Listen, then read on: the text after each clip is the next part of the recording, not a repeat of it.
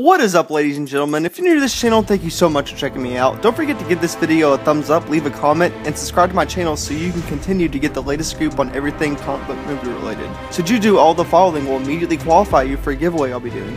Stay tuned to the very end for the rest of those details. Today is a very special occasion. I'm not uploading one but two videos today, and this one pertains to the Spider-Man Far From Home trailer we got yesterday.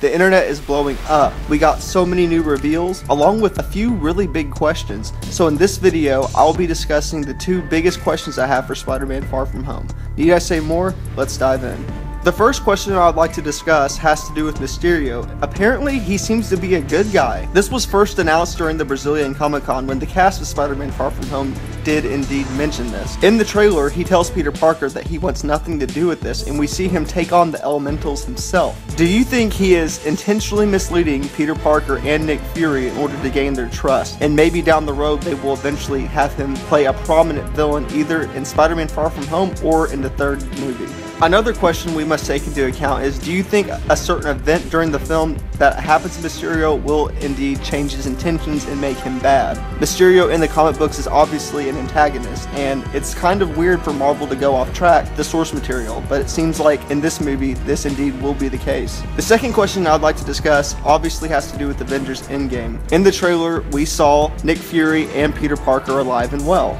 This essentially completely undermined all of the events in Avengers Infinity War. So the questions that need to be asked pertaining to this is, does Spider-Man Far From Home take place before Avengers Infinity War, or does it take place after?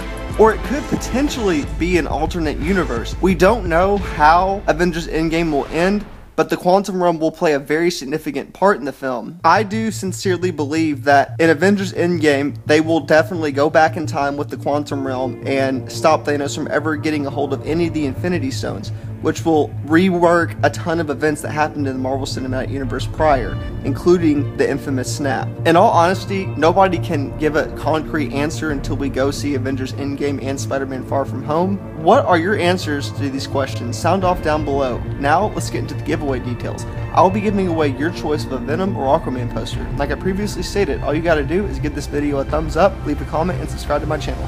Thank you so much for tuning in. I'll catch you next time.